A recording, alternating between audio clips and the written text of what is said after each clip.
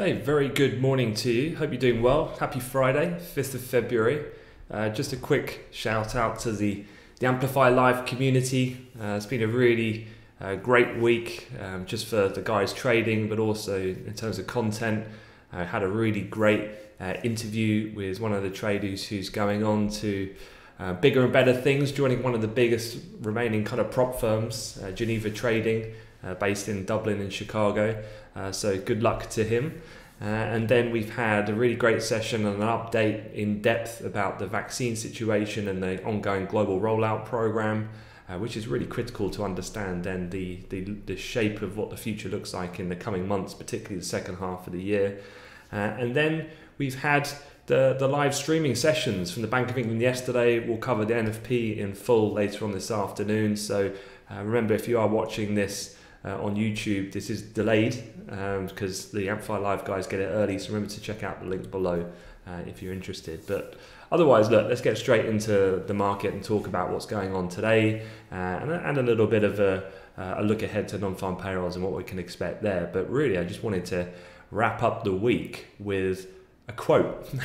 and don't worry, I'm not going to start spouting um, haikus at you. I'm just going to talk about someone, uh, a piece I was reading, and they said, "quote The virus is getting incrementally better." At the very same, same time, the earnings season economic data seems to be showing improvement. I think that's a really nice summary generally of what's going on in markets right now.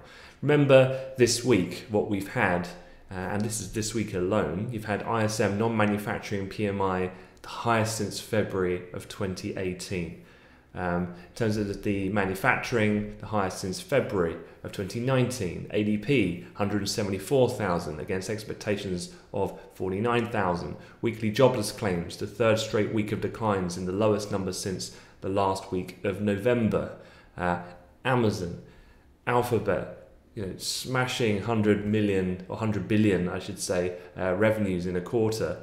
Um, so overall, then, all of that has come in the context of Federal Reserve officials uh, continuing to push against any notion of tightening, irrespective of the economy showing some signs of heating up. Now, one of the latest was Esther George. She is a non voter, but she spoke last night and she said the Fed are still, quote, far away from achieving its goals and it would be premature to start a debate on scaling back its massive bond buying program. Again, very similar to what we heard with Evans the previous day, uh, and Bullard and others. And you know, someone like Esther George typically is defined as being a hawk, and yet she herself is saying it's far too early to start calling it the end of um, the bond buying program. So I think overall you've got a bit of a perfect storm here when it comes specifically for why equity markets are moving back to all times high. All times high. You've got a bit of momentum picking up economically. Uh, supported by the lower for longer mantra, which is definitely here to stay. Uh, and the idea being that the people who are pulling these levers, making these decisions from the Treasury and Yellen to Powell at the Fed, everyone is there to provide this supportive environment going forward. So let's have a look at some of these charts and really encapsulate that mentality because here is the S&P 500 and technically then uh, an important breakout we had in price activity going into the close. So that usual kind of flush in volume going into the close on the 90 last night just saw us push through that double top and fresh all-time highs then. And then as we drifted in the futures in the overnight Asia Pacific session, bit of that momentum just fatigued after the close, and then Asia just took it on uh, as well. Again, in terms of the the kind of geographic sentiment it's definitely being Asia is is definitely has its own unique domestic narratives, but definitely not moving the global uh, kind of sense of sentiment, and that's definitely being derived from generally the higher close on Wall Street, Asia generally following suit, and in Asia we've drifted up, futures still pushing on up, and if we look on a daily on the S and P, you can see then quite clearly uh, that 3860, which was that kind of obstacle uh, that restricted price at the end of January, broke that last night, and that's now providing a degree of support to price. And you know, looking on the upside, today, whether it does or not, you know, the idea is here, this market, uh, I still feel um, for 2021 is not just going to 3900, it's not just going to 4,000, it's going higher. Um, so all things remaining equal, I think there's enough of the groundwork set on the just general summary of what I was just describing to see equities just continue the upside trend. That doesn't mean though that as we go up, we don't have the odd afternoon or day of pullback, but that doesn't detract from the trend, which is, you know, this is looking on a daily since November that this kind of trend just continues. Perhaps the acceleration of the um, the upward gains starts to decrease slightly, but the market's still in a bullish mindset, I think, going forward. Uh, and I think US equities have got plenty left uh, under the bonnet. Otherwise, elsewhere, what was really interesting about yesterday's session was um, a lot of the dollar based movement. And this is a look at the, the Dixie, looking back to really encapsulate the, the story of uh, the pandemic. So here you can see the initial volatility, the push up on the kind of flight to quality bid in the, to the dollar uh, at the depths of the sell off that we saw in March in global equities. And then generally the response obviously coming heavy handed from the Federal Reserve to instill ultra loose monetary policy.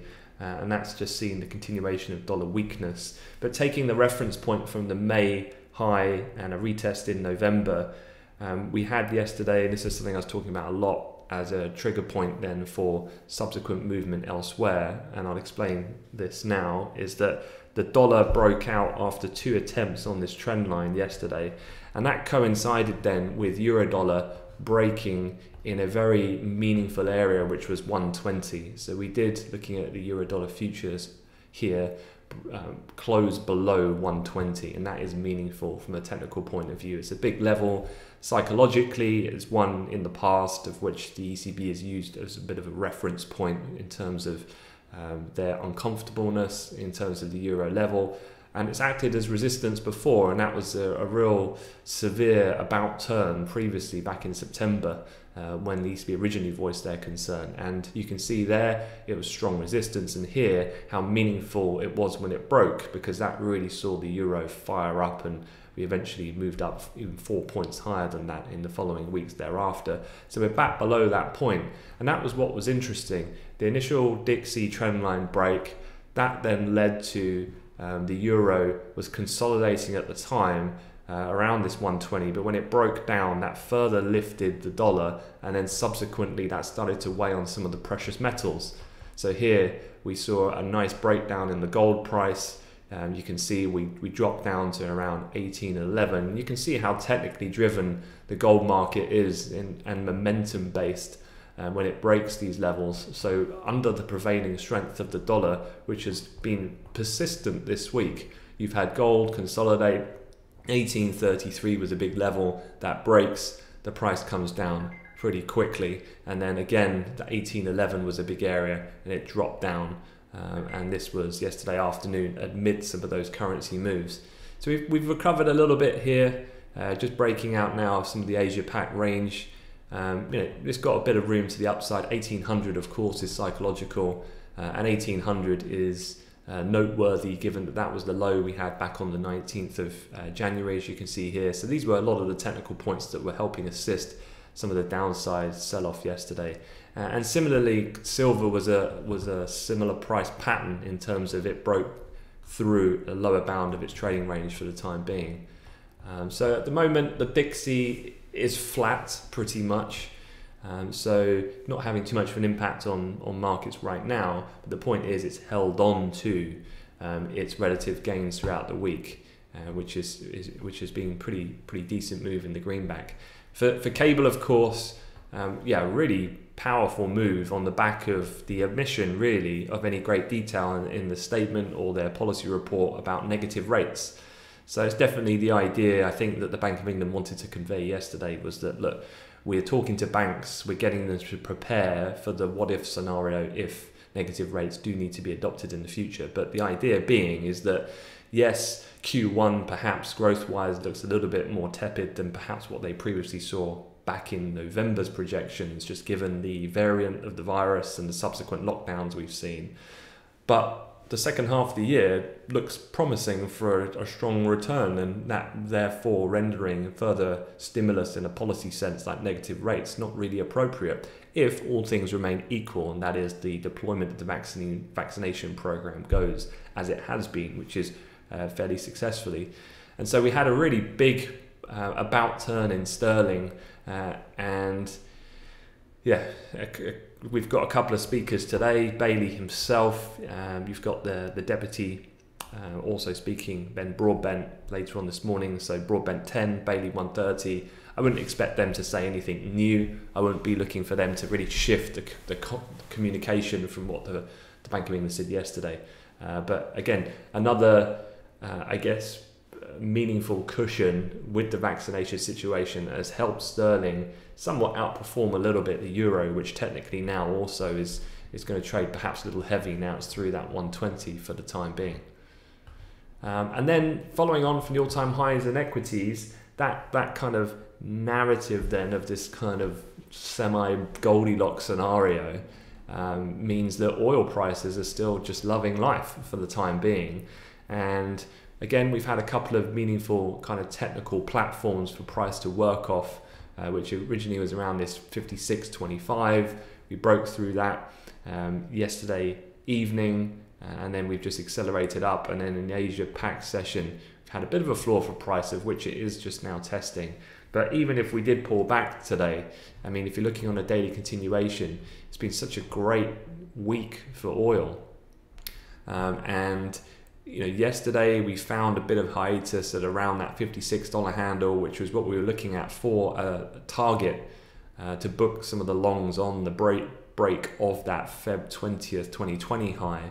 Uh, and now we had pullback uh, decent pullback to 55.30, but here we are back trading a dollar and 20 back above that area. Uh, and having got above that zone of resistance, really upside technically on the daily chart, I don't really see a great deal until we get further up to 57.36. Um, so how that plays out, I think um, a solid payrolls, and we'll talk about payrolls. Let's just talk about payrolls now. So a solid payrolls, I think, is very much um, kind of priced into the market. I think if you did get a, a, good payroll report, perhaps you just see a bit of a continuation, um, but in a moderate sense to the general directional trends that we've had, which is kind of equity strength, dollar maintains its kind of bid from the week. Uh, and we have uh, uh yesterday seen a sell off in 30 year treasuries, pushing the US yield curve to its steepest in more than five years. Um, you know, don't forget as well, there's still this idea that stimulus um, a large additional injection of economic stimulus is still forthcoming, albeit it might be watered down as it goes through its various kind of procedural passage in Congress. Um, that, with the global growth expected, given vaccination drives gathering pace, um, and with payrolls kind of feeding that narrative, just is why we've seen the moves that we've had in markets this week. And, you know, things like the whole GameStop situation, you know, that's a distant memory now. And as we were saying at the time, not one that global markets are really looking at. It's a very concentrated, small catchment of people that are looking at those things that doesn't reverberate out to the broader market. Um, but as far as non uh, non-farm payrolls is concerned, then I guess for me it's about um, appreciating the market's positioning. Uh, we've had a slew of good data, as I just mentioned, from the US and that does mean then that um, expectations are for an upside print because the actual consensus is kind of like with ADP was around 50k for the headline, but definitely markets are uh, sitting on the higher end of that. Um, ADP in itself was 174,000. Um, so yeah, looking at the employment constituent breakdowns of the various different things that we've had this week, um, they would all be indicative uh, of a positive report. Um, so yeah, the disappointment then is what if it's not great? And just given that market positioning, do we get a little bit of a pullback? In the, in summary, it doesn't really matter non-farm payrolls because that might create an intraday interesting movement. If it is weak, do we get equities then just book profit going into the weekend? We see a bit of a pullback that feels heavy, but in the in the context of the week's gains, it's really quite marginal. Uh, and then with the dollar longs as well, profit taking, just looking to just come out of some of that, and the euro just drifts back up to 120. that could well be a scenario today, and maybe you get some bottom feeders coming down in some of the precious space just to lift things up into the close under those conditions. But does it really change the um, the idea of what the Fed are going to do and the, the tactical approach of just being far away from anywhere near discussions about ending bond buying? No, it doesn't. So beyond today, I don't think it really changes it, and hence the reason why some of these patterns that we've seen form throughout the week might just continue uh, thereafter. But look, a few other things to briefly mention away from that. That's kind of the overall uh, take and generally the most important things. A couple of side notes. Uh, on the vaccine front, Johnson & Johnson have asked US drug regulators to clear its COVID-19 vaccine for emergency use. If cleared, it would be the US a third vaccine for the US after Pfizer, BioNTech, and Moderna, of which their kind of rollout strategy has been heavily dependent on. Uh, again, we, you know, I did a really great chat with one of the the guys, not me, the content really coming from him, uh, one of the um, guys in the community on Amplify Live.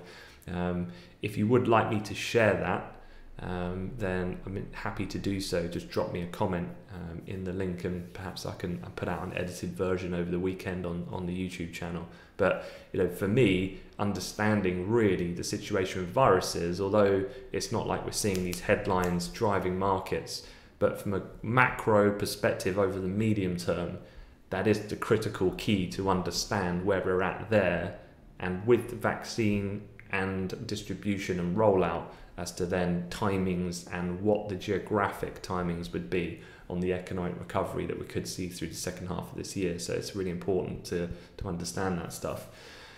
Um, so J and J um, looking to get that US approval. Separately, the FDA in the US are drawing up new rules to make it faster to approve treatments and vaccines for the new variants of COVID 19.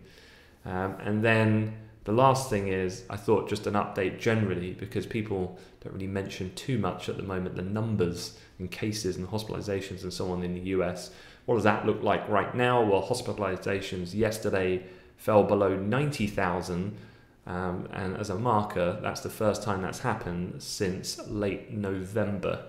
Um, so a couple of weeks, while cases though have risen by the most in five days. So this is one of those. This is another key reason why this kind of Goldilocks scenario exists. So the economy is is heating up through macroeconomic data points as we can see this week.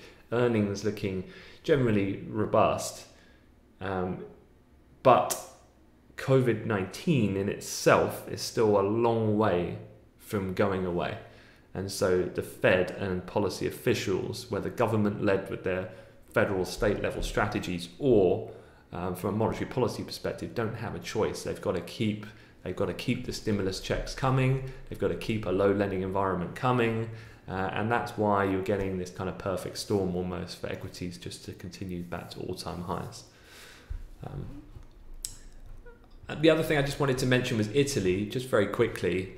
Um, yeah, definitely got the call wrong yesterday, thinking that it would take a bit of time perhaps for um, Draghi to pull the relevant strings in order to form a government. The latest is that Italy's PD Senate chief expects Draghi has an 80 to 90% chance of forming a government. And without getting too bogged down into the details, basically, if you look at the the kind of strategy of who he can talk to to acquire how many votes to form a government, and it's basically in any shape or form, depending on which way he goes, it's looking likely he will be able to form a government. Uh, and as we know, Draghi, an incredibly well respected individual, uh, both from a political standpoint but also from a market's perception. Uh, and yields in Italy have just continued to fall. And We've broken out of the important technical range in BTP futures at 52.14. You can see here the high on the 20th and uh, this area of resistance we've had throughout the week since that aggressive gap up on the confirmation of Draghi towards the beginning of the week. And BTPs have continued to rally into the close yesterday. So upside targets, um, you've got the previous high we had, which is the year-to-date high in BTPs um, at 52.66. All right, quick look at the calendar. So aside from non-farms, What else is going on? Well, the UK and European morning is very quiet. There's nothing really of magnitude to be aware of. So, all things being equal, it could be quite quiet in the run into the jobs data. Payrolls hits at 1.30, so I'll be on the live stream with the team uh, 1.30 on Amplify Live.